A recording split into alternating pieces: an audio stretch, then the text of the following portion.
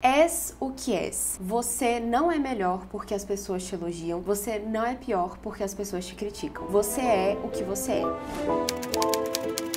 Oi, gente!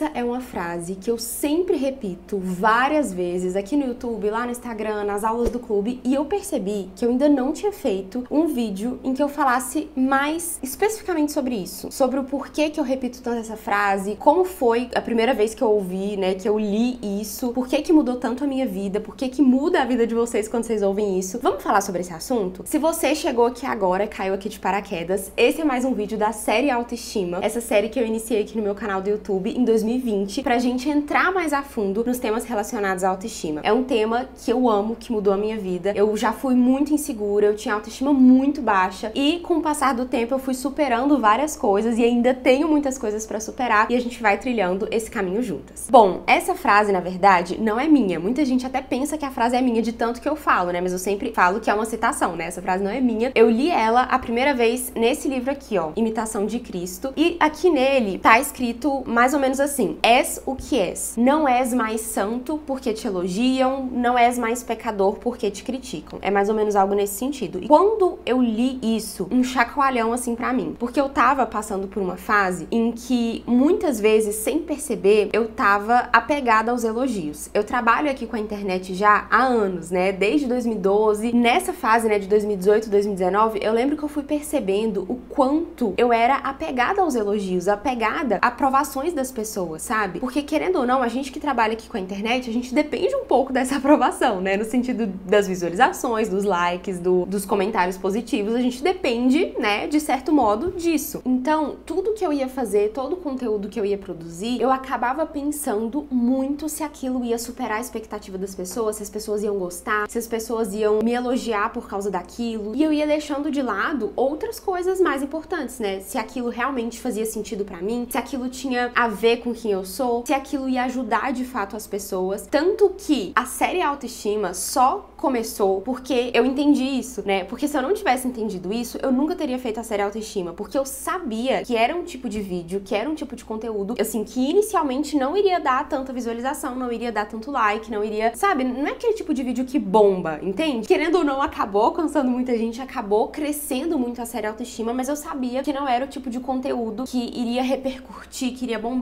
mas eu sabia que eu precisava fazer. Eu senti esse chamado, era como se, se a vida estivesse falando assim: vai, sabe, faz isso. Eu sabia que eu precisava fazer isso. E o outro fato também é que a gente nunca vai conseguir agradar todo mundo. Então, se a gente fica querendo só os elogios, né, só agradar, que as pessoas pensem coisas boas da gente, uma hora ou outra a gente vai se frustrar. E era isso que vinha acontecendo comigo também, sabe? Eu percebia que, mesmo que eu tentasse fazer tudo, que eu tentasse, né, não errar, não falhar, agradar, né, fazer os melhores conteúdos conteúdo tudo mais, sempre tinha crítica e sempre vai ter. Aquilo ia me frustrando muito, aquilo ia me paralisando, eu ia perdendo o ânimo, era muito desgastante para mim. E aí foi mais ou menos nessa época, né, a partir desse livro, dessa reflexão e de outras coisas que eu fui aprendendo, que eu fui refletindo também, eu fui entendendo que quando a gente se apega demais a, aos elogios, o nosso mundo cai, o nosso mundo desmorona quando as críticas chegam. E isso vai acontecer com todo mundo. E é doido isso, né? Porque eu ficava ali às vezes tentando ser algo que não era 100% eu para tentar agradar. E mesmo assim a gente não consegue agradar, sempre vão ter críticas. E também quando a gente é autêntica, também vai ter crítica, porque algumas pessoas vão se identificar com aquilo que a gente é, com aquilo que a gente faz, com o que a gente gosta, e outras não, né? E talvez essas outras que não se identificam vão criticar de alguma forma ou simplesmente vão olhar aquilo e vão embora, né? Não vão se identificar. E aí eu fui percebendo que era muito melhor receber elogios e receber críticas por quem eu era de verdade do que por algo que eu não era. Mas ao mesmo tempo, esses elogios elogios e essas críticas, elas não definem quem eu sou. Muitas vezes, os elogios que vocês me, me mandam, isso é difícil de entender, né? Mas quando a gente entende, é libertador e ao mesmo tempo nos traz uma certa responsabilidade. Mas eu fui percebendo que muitas vezes os elogios que vocês escreviam, aquilo também não era verdade, sabe? Assim, né? Porque eu sei que eu tenho muitos defeitos e às vezes aquilo que vocês veem aqui na internet, que vocês veem de mim, é uma parcela do que eu sou. É o que eu sou, mas é uma parcela. E cada pessoa vai interpretar isso do jeito que ela quiser, do jeito que ela imaginar. E às vezes vocês vão imaginar que eu sou muito mais do que aquilo que eu realmente sou, entende? E aí uma hora quando as críticas vêm, ou as críticas nem precisam vir. Mas quando no meu dia a dia, né, fora das câmeras, dou de cara com as minhas limitações, com os meus defeitos, com as minhas fraquezas, aquilo vai me frustrar muito, aquilo vai me, me deixar para baixo, porque eu tava ali apegada aos elogios, ao que as pessoas estavam ali, né, dizendo de mim e tudo mais. E eu fui percebendo isso, né? Falei, gente, eu não posso ficar apegada a esses elogios. Isso é uma luta diária para mim. Então, não ficar apegada aos elogios não quer dizer que eu vou ser grossa, que eu vou ignorar, que eu não vou, né? Ah, a pessoa vai me elogiar e eu vou falar, não, não, não, ai, eu não sou isso. Não é aquela coisa também de falar assim, ah, imagina. Né? Você é grata por aquilo, mas você não vai ficar pensando nisso e, e tomando aquilo como a verdade universal da sua vida. O autoconhecimento ele é muito importante para as duas coisas, pra gente enxergar tudo que existe dentro de nós, né, os nossos defeitos, as nossas qualidades. E quando uma pessoa nos elogiar, a gente vai saber se aquilo é verdade ou não, e quando a pessoa nos criticar, a gente vai saber se aquilo é verdade ou não. Então, a gente também não vai nem se elevar demais e nem se rebaixar demais. A gente sabe quem a gente é, né? A gente reconhece aquilo que a gente é de verdade, aquilo que a gente faz de verdade. Isso é muito libertador. É desafiador, mas é muito libertador. E é isso que constrói a nossa personalidade. E como fazer isso, né? Através do exame de consciência, né? Que eu sempre falo com vocês, a gente olhar para dentro da gente, pensar o que, que a gente fez de bom, o que, que a gente fez de ruim naquele dia, o que, que a gente precisa melhorar, como a gente tem sido. Em geral, os defeitos que a gente enxerga demais nos outros são os defeitos que a gente tem também. Tem até uma frase, né, que fala assim: se você quer crescer nas virtudes, comece por exercitar aquelas que você julga faltar nos outros, porque geralmente são as que faltam em você também. Então é isso, né? A gente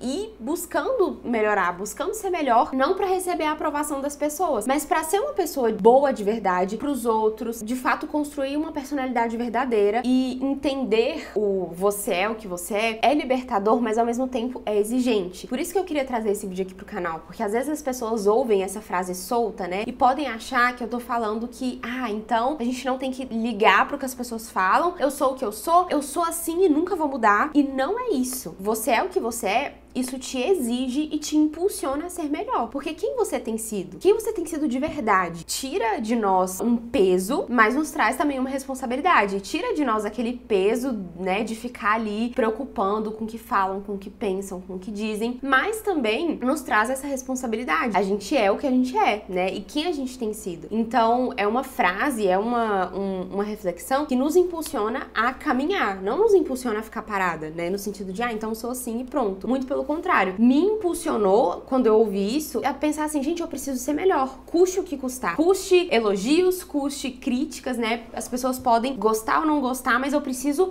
ser quem de fato eu nasci para ser. Eu preciso ser a melhor Ana Lídia que eu devo, que eu posso ser. Eu preciso ser melhor para mim, eu preciso ser melhor para minha família, eu preciso ser melhor para vocês que me seguem, para as minhas alunas, eu preciso ser a minha melhor versão, porque é isso que vai trazer sentido à minha vida. Se eu ficar aqui apegada demais a esses elogios, a essas críticas, ah, não vou falar isso, eu não vou ser assim, porque senão é, algumas pessoas não vão gostar e tudo mais. Se eu fico apegada demais a isso, né? Quem quer preservar a sua própria vida vai perdê-la. Quem quer se poupar demais, quem quer preservar a sua reputação, aqui nesse livro também fala isso, e eu lembro que isso foi um chacoalhão também para mim, que fala assim, né? Quem quer preservar demais a sua reputação, a sua imagem, acaba por perder a sua imagem. Porque você cria um personagem, você cria algo que você não é, ainda assim você vai receber crítica, porque todo mundo sempre recebe, né? Se torna uma pessoa mole, você se torna uma pessoa que não substância, porque você não foi nada, você não foi nem quem você deveria ser, nem nada. Você viveu como uma marionete, como um personagem. Você foi se encaixando nas formas das pessoas, né? Naquilo que as pessoas queriam que você fosse, mas você não se moldou, né? Você não se deixou ser moldada, você não se deixou ser lapidada. E ser lapidada dói, né? Tem uma outra frase também que eu amo, que fala assim: dói-te, né? Tá doendo? Deixa-te lapidar. Lapida-se a pedra que se estima, que tem valor. Não se lapida assim um pedregulho vulgar. Ninguém pega uma brita, uma,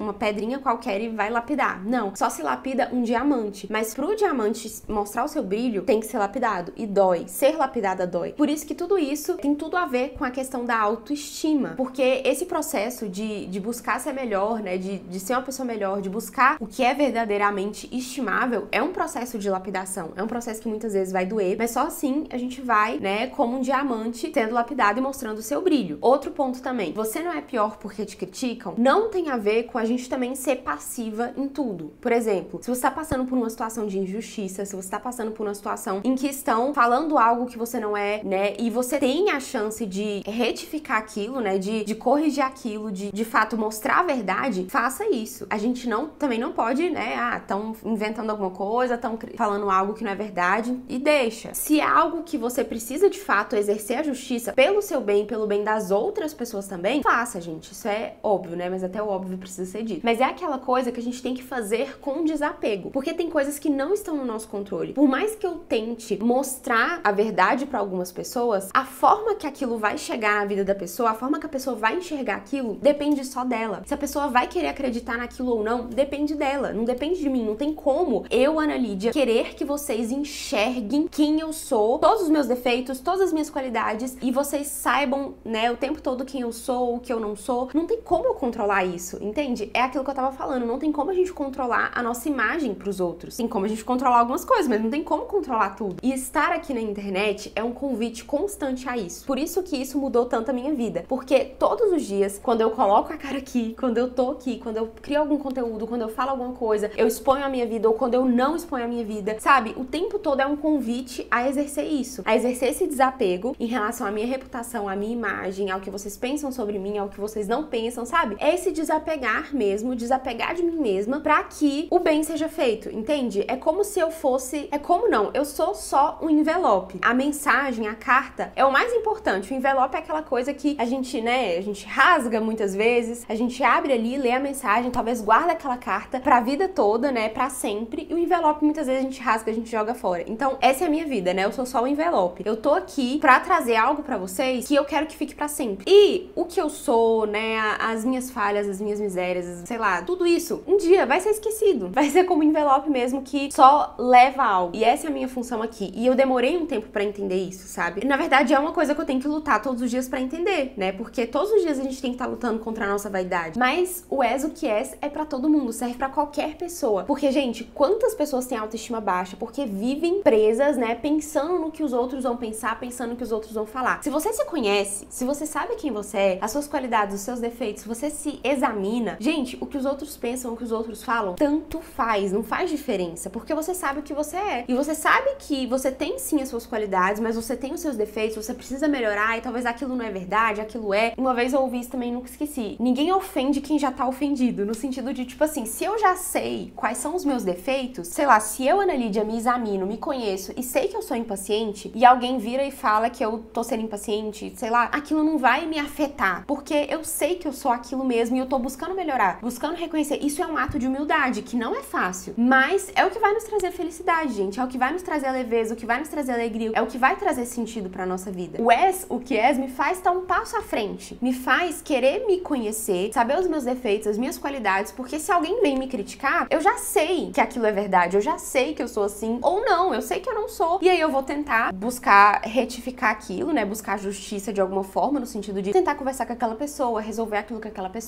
E se funcionou ou não funcionou, aí aquilo já não me preocupa tanto assim, porque eu sei que no final das contas, Deus vai me pedir contas do que eu fui de verdade, naquilo que é escondido, naquilo que é secreto, naquilo que muitas vezes as pessoas não veem. É ali dentro da minha casa, é no meu cotidiano, são nas minhas pequenas ações, nas pequenas ações do cotidiano, é que eu vou revelando quem eu realmente sou. Sabe, gente, é muito fácil a gente ser uma pessoa boa para muitas pessoas verem e para as pessoas nos elogiarem, para as pessoas nos aplaudirem, pra gente ser aceita em alguns lugares, em alguns grupos. É muito fácil, sabe? É muito fácil ser uma pessoa que a gente não é só para receber elogios e fugir das críticas. É muito fácil, mas é muito mais difícil a gente ser uma pessoa boa de verdade no nosso dia a dia, no nosso cotidiano, nas pequenas coisas. Mas é isso que vai nos trazer felicidade. Não é à toa que tem tanta gente sofrendo com autoestima baixa porque quer só o elogio, né? Se apega a isso, se apega aos elogios, se preocupa demais com as críticas, não se desapega de si mesma, né? Não se desapega da sua própria vida para viver ela de verdade. As pessoas são muito instáveis. O julgamento humano é muito instável. Quando eu entendi isso assim, também explodiu minha cabeça. Eu fiquei, falei, caramba, faz muito sentido. A mesma pessoa que me elogia hoje pode estar me criticando amanhã. A mesma pessoa que tá me aplaudindo hoje, que tá falando que eu sou maravilhosa, amanhã pode estar me criticando. E eu já vi isso acontecer várias vezes, né? Comigo, com várias pessoas. E a gente já viu isso acontecer com a pessoa mais importante, né? A